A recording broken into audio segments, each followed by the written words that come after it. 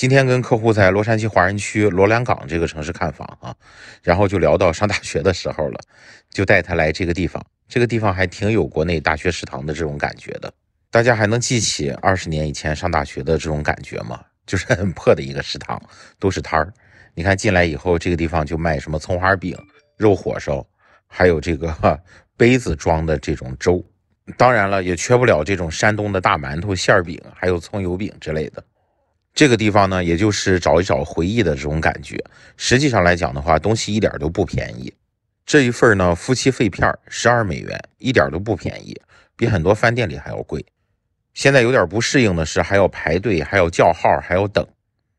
这个是这里面生意最好的一家店了，因为他卖炸臭豆腐。这个臭豆腐跟以前上学的时候吃的不一样，这个是这种酸的。还有这个生煎包，是不是很有回忆？都是拿这种餐盘来装的，就点了这几样东西，花了四十多美元，就当买一份回忆吧。